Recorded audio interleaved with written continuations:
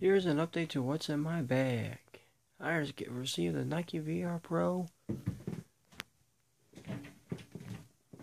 Sorry, 52 degree gap wedge with 10 degrees of bounce.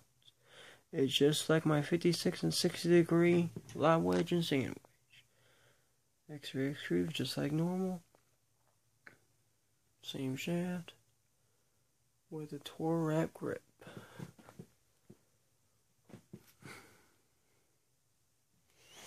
Yeah, just gonna let you guys know an update.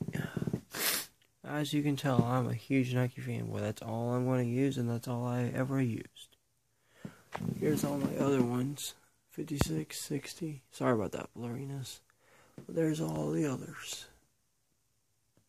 There's still the good old blades. Alrighty. Thank you. See you in the next one.